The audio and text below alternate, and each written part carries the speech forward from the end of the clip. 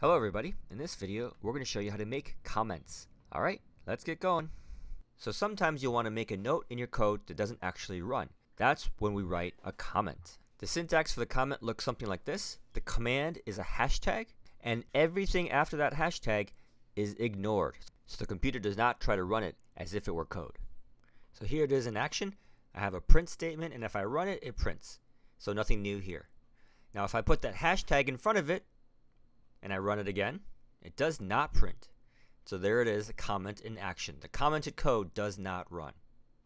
So now I'm going to do the same thing. I have four lines of code, just printing yes, and you see it runs. Now I'm going to comment them all at once. And so I select them all, and I hit control slash. And you see it comments them all at once. This is a trick that will work if I do my Python in Replit or in any other sort of advanced developing environment. I can reverse that. If I select the whole thing and I do control slash, it will uncomment everything.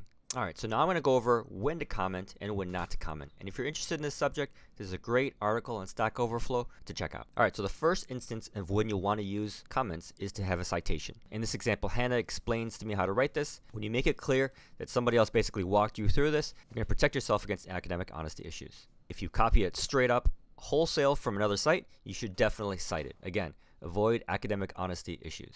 Another good time to comment is to make a reference. So in this example, I'm implementing the Newton-Raphson method.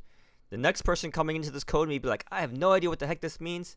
Hey, look, there's this nice link that goes over the Newton-Raphson method. How great. So this is an example of another time when you want to have a comment.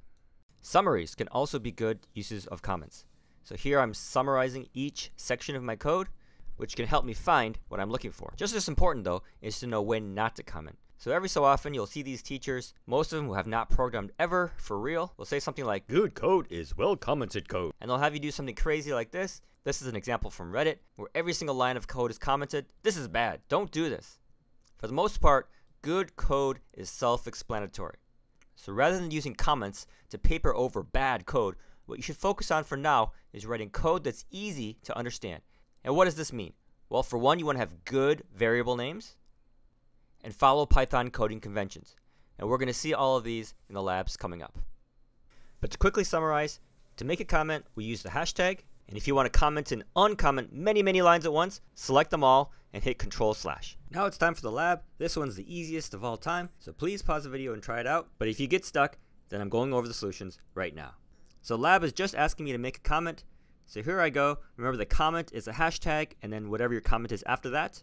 So I'm going to make a hashtag hello world I'm to run the code, and then it works. Alright, so that's pretty much it. Hope that was useful to you. And if it was, please give this video a like and subscribe to my channel. I'll see you next time.